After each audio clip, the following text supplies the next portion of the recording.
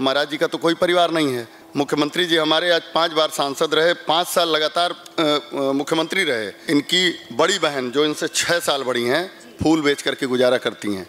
इससे बड़ा नजीरा और क्या होगा? कोटद्वार में फूल की दुकान है, उनके उनके पति चाय बनाते हैं। महाराज जी के सगे बहनोई है। भाषण देना बहुत आसान है। अपने परिवार को 12 साल 14 साल या 20 साल की अवस्था में छोड़ करके अपने माँ बाप को छोड़ करके कड़े हृदय से समाज की सेवा करने के लिए एक संत खड़ा हुआ, आप उस पर भी आक्षेप लगाने लगे। हद है नीच मानसिकता की। महाराज जी का जो कक्ष है, उसमें तखत है, लकड़ी की चौकी, उस पर एक बहुत ज़्यादा मोटा नहीं, पतला गद्दा बिछा रहता है, उस पर चादर रहता है। उसी पर महाराज जी आदि है सोने के, कमरे में कोई एसी नहीं है। लखनऊ का जो सरकारी आवास, मुख्यमंत्री जी का, वहाँ भी सेम व्यवस्था है, क्योंकि वो संत हैं। चार घंटे की नींद लेते हैं। चार घंटे की नींद पच्चीस साल पहले भी लेते थे, आज भी चार घंटे की नींद लेते हैं।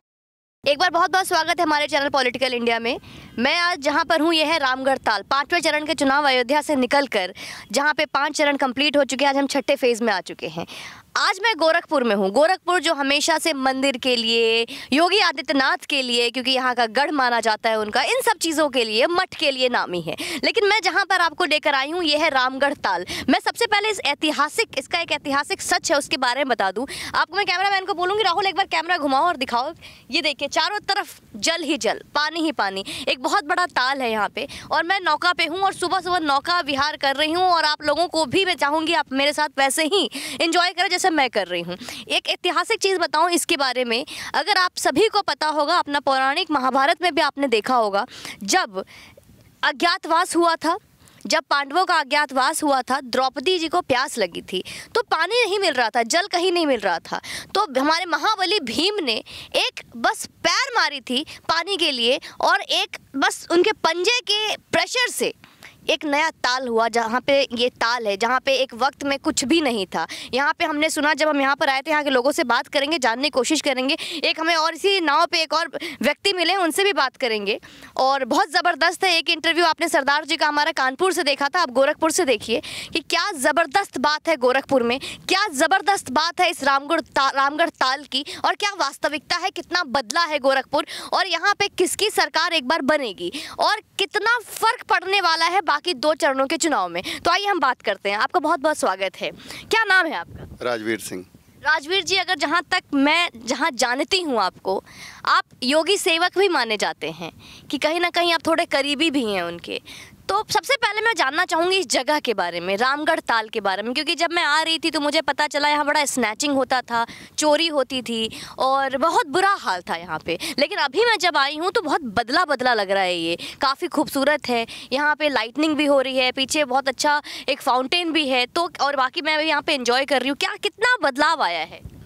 देखिए बदलाव सत्रह के बाद ये सारा बदलाव है। जब परम पूज्य महाराज जी हमारे उत्तर प्रदेश के मुख्यमंत्री पद को उन्होंने सुशोभित किया ये जगह आज के ज़्यादा नहीं छः सात साल पहले यहाँ पे चेन स्नैचिंग होती थी और बहन बेटियाँ सुरक्षित नहीं थी यहाँ पे। जो जैसे आप ये मिडिल ऑफ़ सिटी है ये ताल जहाँ पे स्थित है जहाँ जहाँ हैं आप ये मिडिल ऑफ़ सिटी में है। यहाँ पे बहुत ही ख़राब स्थिति थी। अराजकता थी गुंडे माफियाओं का जो बोलबाला था प्लस जहाँ जो मैं दोबारा उस बात को रिपीट करूँगा कि यहाँ महिलाएँ ज़्यादातर नहीं सुरक्षित थी चार बजे ही चेन स्नेचिंग हो जाती थी। चार बजे शाम को? जी चार बजे शाम को ये रास्ता बंद हो जाता था। इस रास्ते पर कोई आता नहीं था। पुलिस की कई टीमें लगी रहती थी तब जा कर के जो कुछ लोग इधर के रहने वाले थे वो आया करते थे।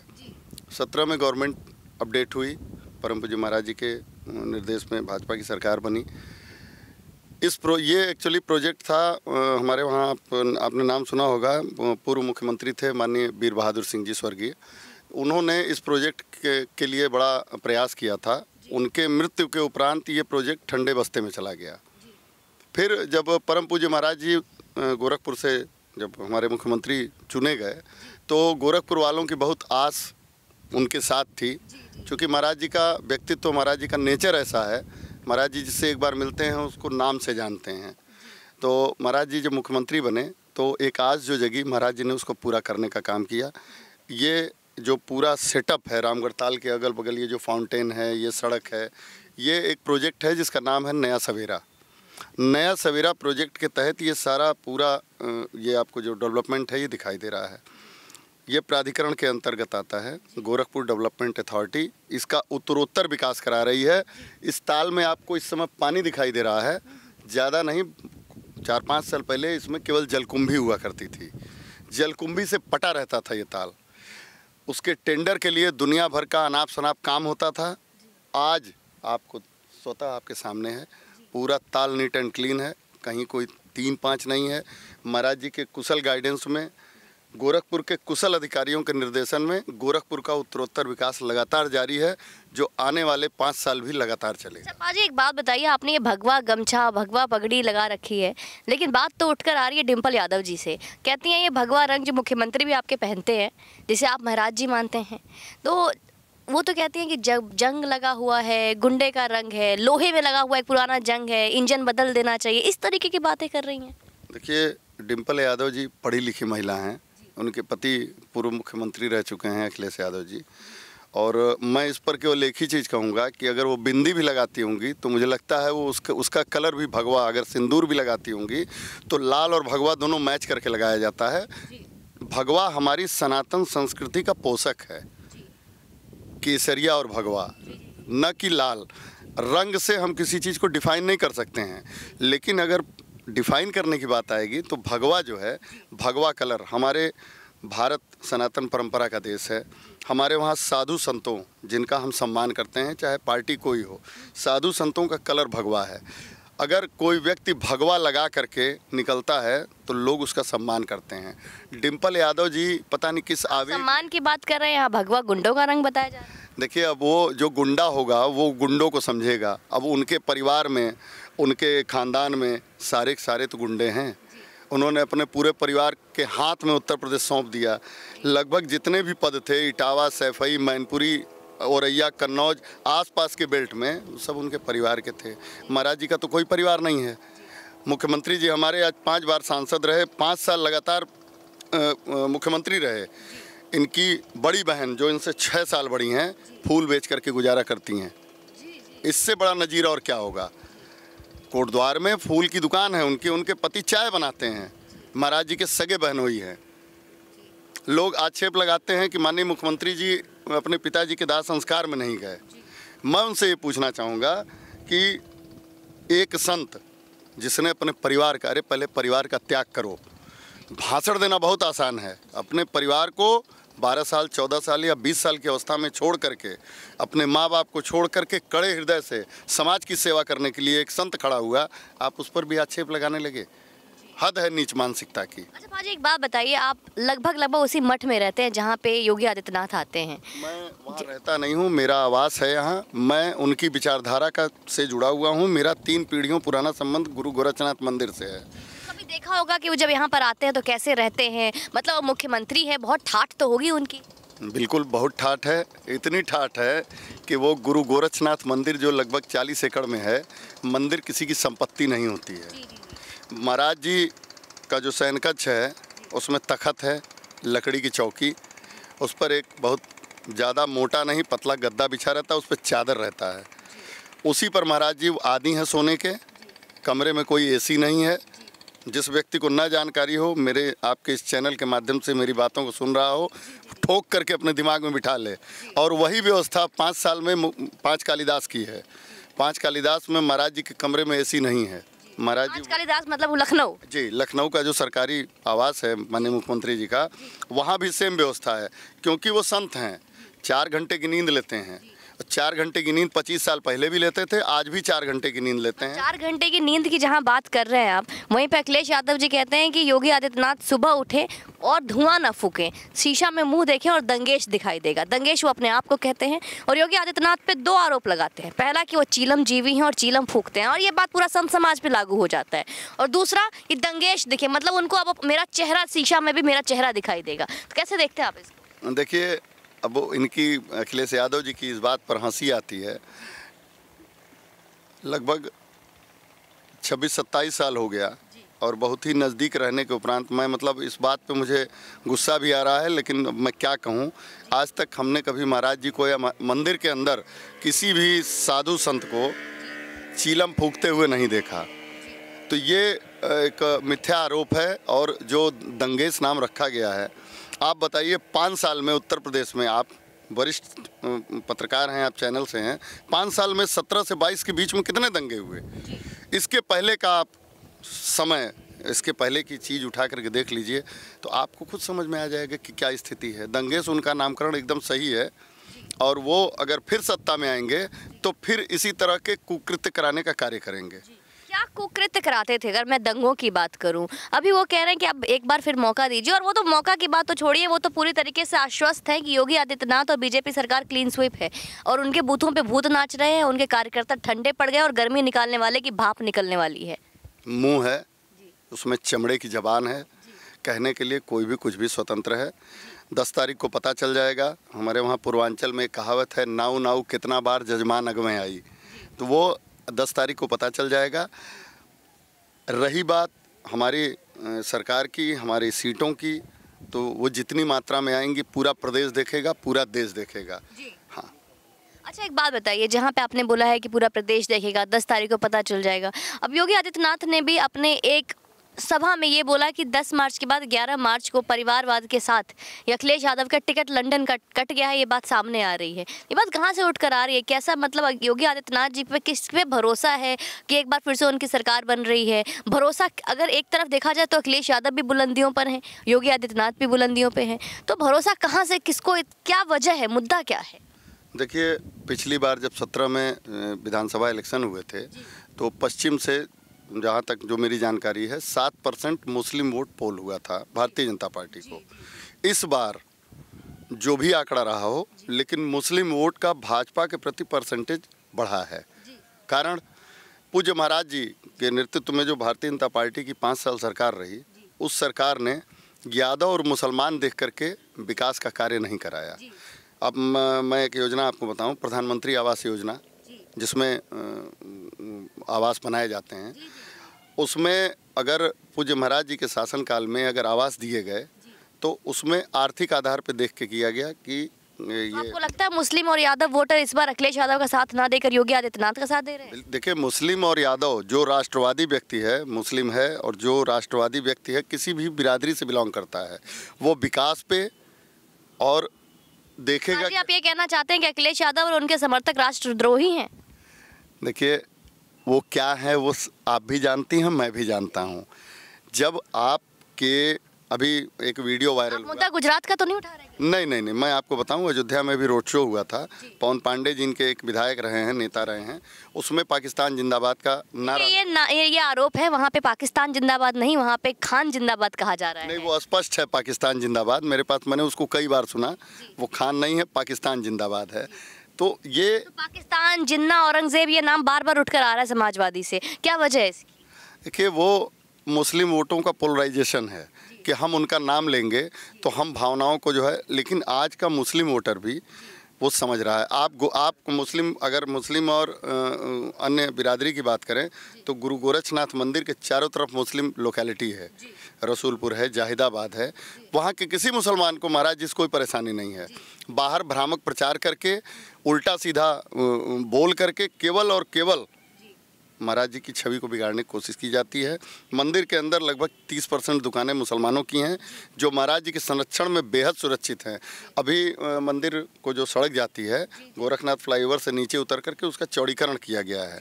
उसमें दुकानें तोड़ी गई। झूलेलाल जी सिंधी समाज के देवता माने जाते हैं उनका मंदिर है। वो मंदिर तोड़ा गया। महाराज जी ने अपना मंदिर गोरखनाथ मंदिर मठ का जो की बाउंड्री है उसको तोड़वा करके 20 फीट अंदर कर दिया। और क्या चाहिए? तो मतलब आप ये कह रहे हैं कि ये सरकार मुसलमानों को भी संरक्षण देती है जो आरोप लगते हैं गलत। बिल्कुल बिल्कुल। हाजी कैफुलवारा हैं। महाराज जी हर चुनाव कैंपेनिंग महाराज जी से हाजी कैफुलवारा जो हैं गोरखनाथ मंदिर के बगल में उनका मकान है और बहुत वरिष्ठ हैं सीनियर हैं बड़े महाराज जी के साथ के हैं।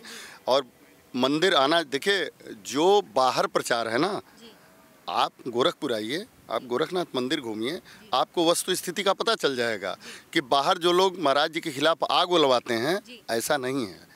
राष्ट्रवादी विचारधारा का हर व्यक्ति महाराज जी के साथ है और हमेशा रहेगा। अच्छा बाजी एक बात बताइए किसान आंदोलन हुआ। आपकी कम्युनिटी को लेकर बड़े सवाल उठाए गए। बीजेपी पे बड़े निशाने दागे गए। बात जब पश्चिम यूपी की आती है तो फिर भी बात होती है कि किसान बहुत नाराज़ हैं। आप लोगों को खालिस्तानी जैसे शब्द का भी नाम दिया गया।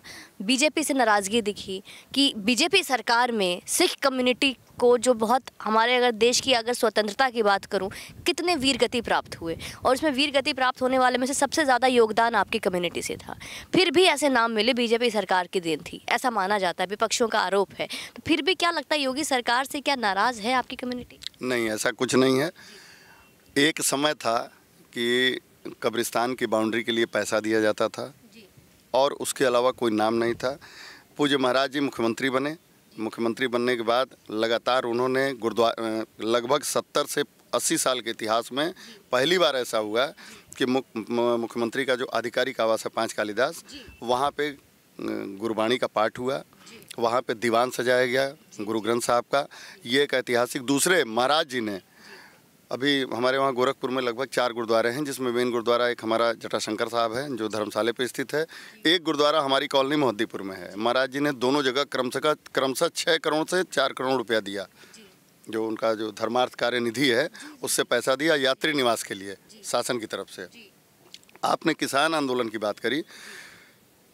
भारत में 28 राज्य और सात या नौ केंद्र शासित प्रदेश हैं। क्या केवल किसान पंजाब और हरियाणा में है? बाकी अन्य स्टेट में किसान नहीं है। जो। प्राइमरी किसान था वो अपने खेत में काम कर रहा था। और जो लोग वहाँ सिंधु और गाजीपुर बॉर्डर किसान जो किसान किसे कहते हैं जिसके पास दो एकड़ चार एकड़ या दो मंडा या बीस बीसवा खेत होता है। डेढ़ सौ एकड़ वाले को किसान नहीं कहते हैं वो व्यापारी होता है। तो जो वहाँ सिंधु बॉर्डर पे ग्लास में दूध और मलाई और काजू डाल के पी रहे थे। दे आर नॉट किसान।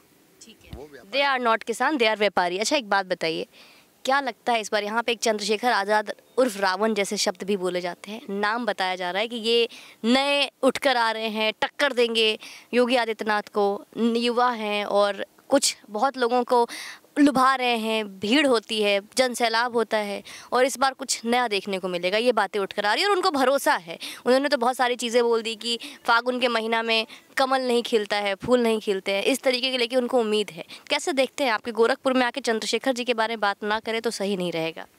देखिए, रावण का एक्चुअली नाम ही जब रावण है तो दहन होगा, पहली चीज़। दूसरी चीज़, वो अपनी टीआरपी बढ़ाने आए हैं। महाराज जी एक भारत का एक्सक्लूसिव चेहरा है। यस तो महाराज जी के खिलाफ जो चुनाव लड़ेगा उसकी टीआरपी अपने आप बढ़ेगी। दो हज़ार चार हज़ार वोट पाएँगे जमानत जब्त हो जाए कहानी खत्म हो जाएगी। Ravan is not a issue for for Gorakhpur. हाँ कोई इशू नहीं है। तो समाजवादी कितना टक्कर दे रहे हैं देखिए समाजवादी पार्टी में जो प्रत्याशी उठाया गया है दुर्भाग्य ऐसा है कि उनको बलि का बकरा बना दिया गया है। अब चूँकि उनके हमारे बड़े व्यक्तिगत संबंध रहे उस परिवार से लेकिन जहाँ राजनीति की बात आएगी तो मैं महाराज जी का पक्षधर था हूँ और रहूँगा।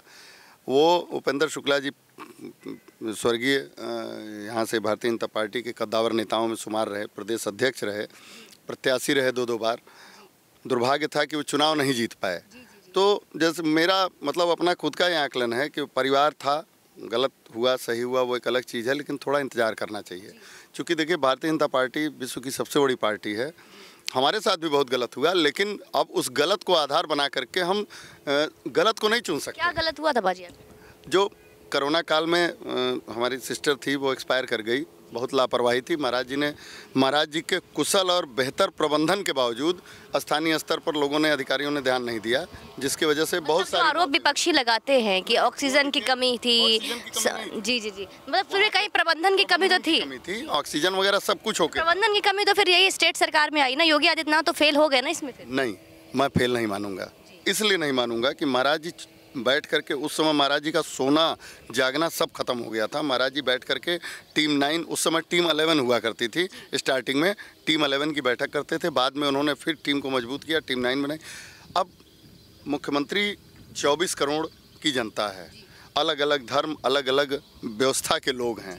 मुख्यमंत्री वहाँ से बैठ करके मुख्यमंत्री तो अपने अधिकारियों के थ्रू काम करेगा मुख्यमंत्री हर गाँव हर कस्बे हर ज़िले में नहीं घूम सकता। लेकिन जहाँ आप घूमने की बात कर रहे हैं काम करने की बात कर रहे हैं अभी पिछले सभा में अखिलेश यादव जी ने ये बोला कि अखिलेश यादव जी और काम कर रहे थे उनके कार्यकर्ता काम कर रहे थे योगी आदित्यनाथ और ये पूरी बीजेपी सरकार चैन की नींद सो रही थी यूपी सरकार कोई दिखी भी नहीं पूरे कोरोना में। कोरोना में जी। आप लोग खुद गवाह हैं कि महाराज जी बैठे नहीं। और अखिलेश यादव केवल बयानबाजी कर रहे थे। उनके लोग बयानबाजी कर रहे थे। हाईवे पे एक जगह खड़े होकर के आप पूड़ी का पैकेट बाँध दें बांट देंगे तो उससे पूरे प्रदेश के लोग संतुष्ट नहीं हो जाएँगे। प्रदेश की जनता जान रही कि कौन मूर्ख बना रहा है और कौन काम कर रहा है। की जनता इससे भी खुश नहीं हो जाएगी कि महीने में दो बार राशन मुफ़्त दिया जा रहा है। देखिए राशन मुफ़्त अगर दिया जा रहा है तो वो, वो एक पॉलिसी है गवर्नमेंट की और उस पॉलिसी के तहत वो दे रही है। जिनको मिल रहा है वो संतुष्ट हैं। हम लोग अभी लगभग लगातार कंपेनिंग कर रहे हैं और कंपेनिंग के दौरान यही नतीजे निकल के आए हैं कि जो बसपा का जो वोट बैंक था, जो जो एकदम डाउन टू अर्थ फैमिलीज़ हैं, जिनके पास खाने पीने के लिए नहीं है। अगर उनको राशन मुहैया कराया जा रहा है तो ये बहुत अच्छा बहुत पुण्य का काम है। चलिए एक आखिरी सवाल पूछूँगी मैं। लगभग मैंने हर जगह पूछा है ये क्या इस बार भी ऐसा है कि प्रत्याशियों को देखकर नहीं विधायकों को देखकर नहीं उनके काम के बिहार पे नहीं सिर्फ़ और सिर्फ़ योगी आदित्यनाथ के चेहरे पर और योगी आदित्यनाथ को वोटिंग हो रही है? देखिए जितने प्रत्याशी भाजपा से खड़े हुए हैं आपने बहुत सही सवाल पूछा। योगी आदित्यनाथ जी महाराज एक ब्रांड हैं। इस बात से कतई इनकार नहीं किया जा सकता है। और सात्विक विचारधारा के हैं उनके ऊपर पाँच साल बिना दाग के मुख्यमंत्री रहने का सबसे बड़ा सिंबल है जो। गुरु गोरखनाथ की कृपा है। इसके पहले सांसद थे तब भी उनके ऊपर किसी प्रकार का कोई दाग नहीं रहा। अपनी पूरी पूरे कार्यकाल को उन्होंने बिना दाग के पूरा किया है। अब मतलब विधायक कैसा भी काम करे जनता उनसे दुखी हो लेकिन बीजेपी योगी और मोदी के नाम से सिर्फ़ और सिर्फ़ सरकार चलाएगी। विधायक गलत काम किए तो उन विधायकों का टिकट कटा। जी। जो विधायक उस लायक नहीं थे उनको फ़िल्टर किया गया। कई नए लोगों को मौका दिया गया है। तो जनता और जो शीर्ष कमेटी है उसने एक सर्वे टीम बनाई थी। उसके आधार पर टिकट लोगों के कटे। नए लोगों को अवसर दिया गया है। नए लोगों से अपेक्षा की जा रही है। लेकिन पूरा दारोमदार महाराज जी पे है महाराज जी के सुशासन पे है महाराज जी के कार्य करने की क्षमता पर है। जी।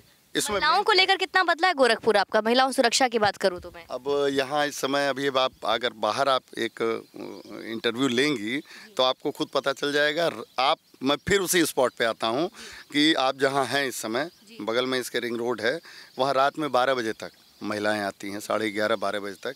ये लोकल ये लेक व्यू पूरा एरिया है ये। यहाँ पे बारह बजे अब इससे बड़ा महिला सुरक्षा और क्या होगा कि सात बजे छः बजे चेन स्नैचिंग होती थी। लड़कियाँ सुरक्षित नहीं थी उड़ जाती थी लड़कियाँ। आज कहीं ऐसा कोई भय का माहौल नहीं है पिछले पाँच साल में। हाँ जी लास्ट क्या अपील रहेगा आपके सिख कम्युनिटी से? देखिए जो उत्तर प्रदेश में सिख समाज है हमारा मैं उससे यही अपील करूँगा कि केवल देश और राष्ट्र को देख करके क्योंकि मैं ये समझता हूँ समझता भी नहीं, मानता हूँ कि हमारी कम्युनिटी ने बहुत त्याग किया है। ऐसा नहीं है कि अन्य कम्युनिटियों का योगदान नहीं है, लेकिन हमारी कम्युनिटी ने भी बहुत त्याग किया है। उस त्याग को चंद लोगों के चक्कर में अपनी पगड़ी का मान रखना न भूलें। बस, यही मेरा निवेदन है अपने समाज से कि पगड़ी का मान रखते हुए पूज्य महाराज जी के पक्ष में, पूज्य महाराज जी के राष्ट्रवाद, राष्ट्रवादी विचारधारा के पक्ष में जनता की भलाई के लिए अपने वोट को प्रयोग करें। बहुत बहुत धन्यवाद आपका।